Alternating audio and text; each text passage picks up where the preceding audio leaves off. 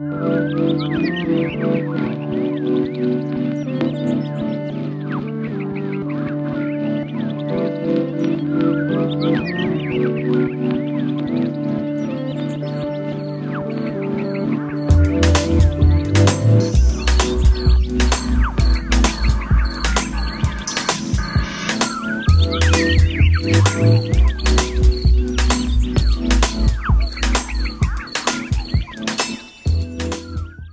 Bonjour à toutes et à tous, bienvenue sous la canopée, ici Monsieur Green.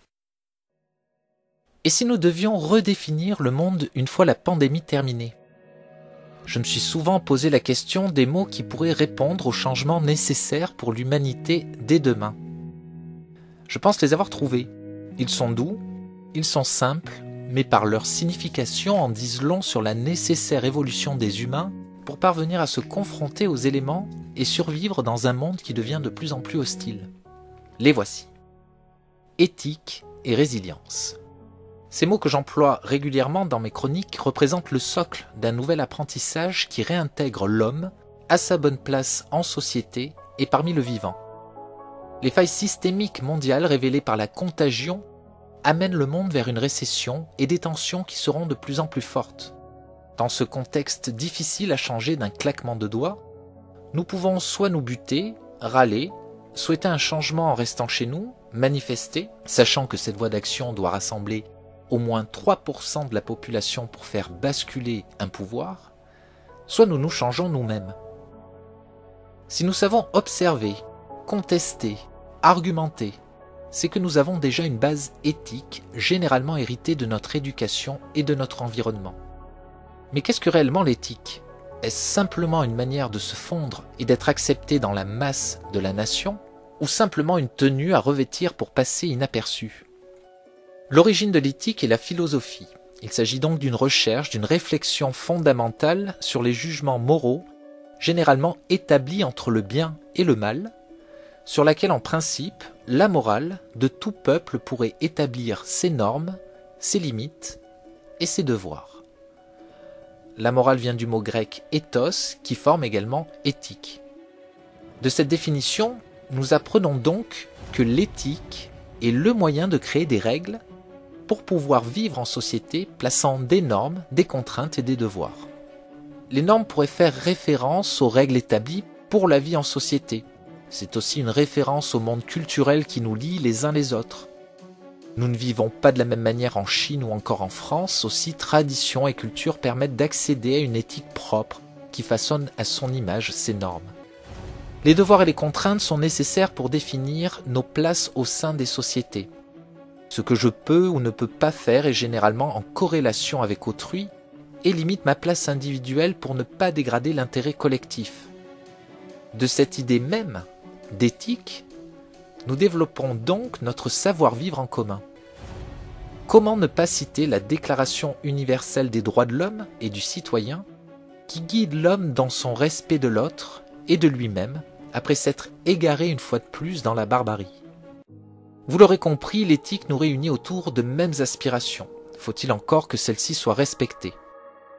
À l'heure actuelle, le problème posé n'est pas que l'éthique n'existe pas ou que les règles ne soient pas légiférées, elle est là, bien écrite, enseignée, mais c'est surtout qu'elle n'est plus respectée.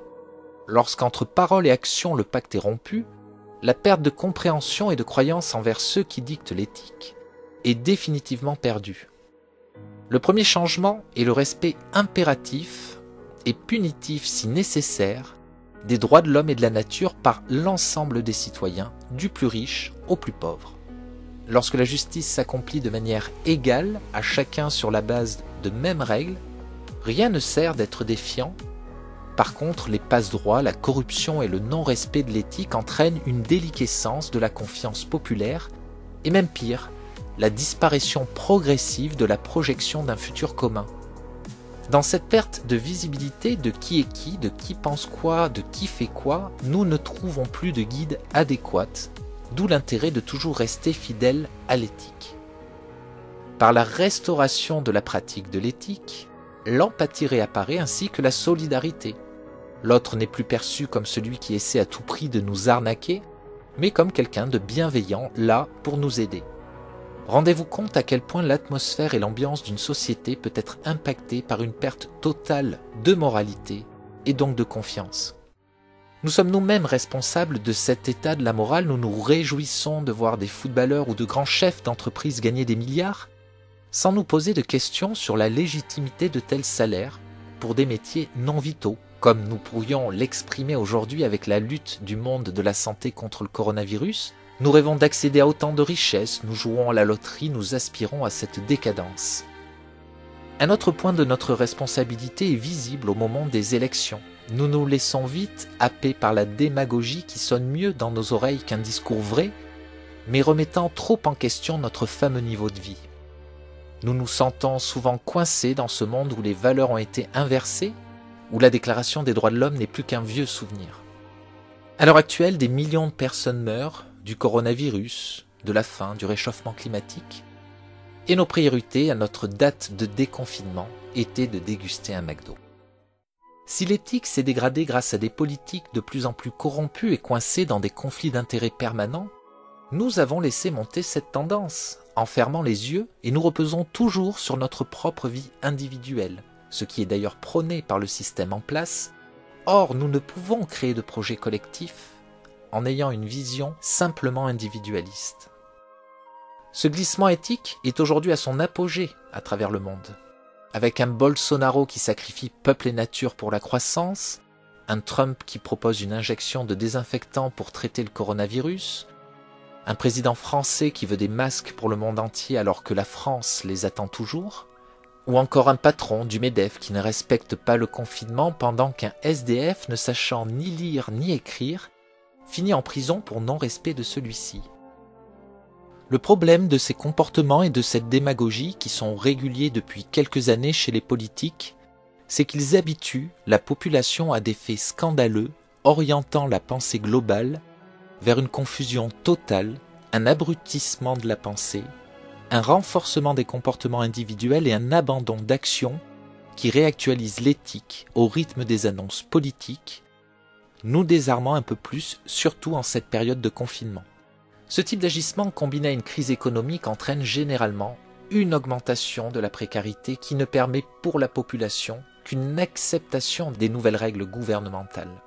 Cette théorie, appelée également stratégie du choc, modifie le comportement des populations par le biais de décisions étatiques, appauvrissant et surveillant, créant cet état de sidération mais toujours avec un discours très sécurisant. Vous l'aurez bien compris, la dégradation catastrophique de l'éthique au cours des dernières décennies chez l'humain l'a amené à faire dramatiquement progresser les inégalités à travers le monde, à accélérer le réchauffement. Et une fin proche nous attend si nous sommes en incapacité de clamer haut et fort ce qui est bien et ce qui est mal pour vivre en société. Ou alors, nous nous dirigerons vers une société de surveillance. Une relecture de la Déclaration des droits de l'homme vous permettra de constater que chaque jour, elle n'est pas respectée, et que c'est cette accumulation d'infractions qui nous amène à cette même atmosphère lourde et nauséabonde d'avant-guerre.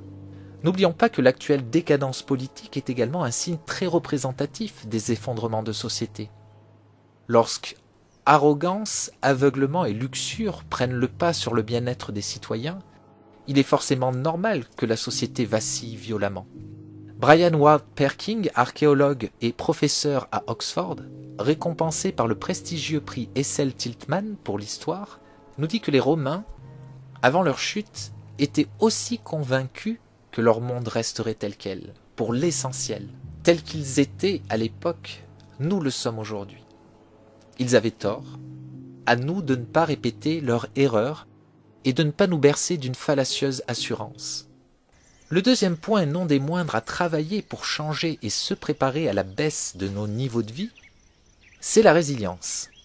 Si vous ne savez pas exactement ce que signifie résilience, nous pouvons dire que la période de confinement a été un état de résilience. Nos besoins sont axés sur le minimum et le suffisant, pas plus. Mais là, vous me direz, mais quelle horreur, à quoi sert donc de travailler et de gagner de l'argent si ce n'est pour ne rester à rien faire ou ne pas investir? Eh bien, cette manière de penser, de manière individuelle et croissante, est assez récente. Ce fort comportement consumériste est arrivé à l'après-guerre et à la période des Trente Glorieuses où la croissance économique était à son apogée. Ce qui signifie que nos comportements actuels ne sont pas irréversibles, qu'une centaine d'années sur l'histoire de l'humanité n'est pas très représentatif de nos capacités. Au mot résilience est souvent associé le mot décroissance, et comme nous sommes habitués à voir nos niveaux de vie croître, ce mot nous fait peur ou nous révolte. Or, nous sommes en décroissance depuis des années. N'oublions pas que les Trente Glorieuses, c'est déjà la décroissance pour les générations qui suivent. Dès les années 70, les chocs économiques commencent. Lorsque vous vous gavez d'énergie et de matières premières pendant des décennies et que vous savez que ces matières sont non renouvelables, alors vous consommez en toute conscience et savez pertinemment que vous allez influencer de manière très négative l'avenir de vos enfants. Nous comprenons mieux que croissance ou décroissance ne se décrète pas, et que cet outil pour stimuler les populations est trompeur et l'a toujours été. Ceux qui nous font croire que la croissance doit revenir coûte que coûte sont des menteurs désireux de garder mainmise sur leur pouvoir, et ils inversent l'éthique puisqu'elle bénéficie aujourd'hui à un petit nombre d'humains. Il ne faut donc pas avoir peur de la résilience. Au contraire, car celle-ci nous réinscrit dans l'éthique d'une vie en société. Elle nous réapprend le respect de l'autre et de la nature, et nous remet à la mesure de notre environnement. Elle nous incite au partage plutôt qu'à la compétition, et amène souvent plus la paix que la guerre. J'espère que la période de confinement vous a révélé à vous-même, aux urgences de la vie quotidienne qui nous impose de nous créer des loisirs pour en sortir, aux urgences mondiales qui s'invitent chez nous, J'espère que vous aurez eu le temps d'apprécier la simplicité d'un bon repas, d'un coucher de soleil, de discussions en Facebook Live. Cet effort mondial de résilience dû au coronavirus nous montre notre capacité à nous contraindre. Qui aurait pu croire une telle situation et une telle réaction des populations? La direction à suivre pour un peuple ne dépend donc que d'une volonté. Le rationnement que nous avons connu nous a été imposé par le virus, n'attendons pas que les États continuent le rationnement d'argent, de services publics, de niveau de vie pour devenir résilients. Sortons nos œillères libérales pour redécouvrir le monde avec la simplicité qui nous permettra de continuer à y vivre. Pour terminer cette chronique, deux mots à garder en tête dans toute analyse de sujets d'actualité, prendre du recul face à sa propre situation et à son émotivité, penser éthique et résilience et vous trouverez une solution commune, essentielle en temps de crise. Soyons audacieux, c'est tout pour aujourd'hui. Excellente semaine à toutes et à tous. C'était Monsieur Green. Fin de la retransmission. Comment c'était Oh, oh, oh C'était un, un pur, absolument délire. J'ai trouvé ça green, oui. Green, comment Oh, super green, aussi green que ça peut être green. Green à la puissance des. Green, green, green, tu vois Mais alors tu vois le green, green absolu. Green, green, plus green.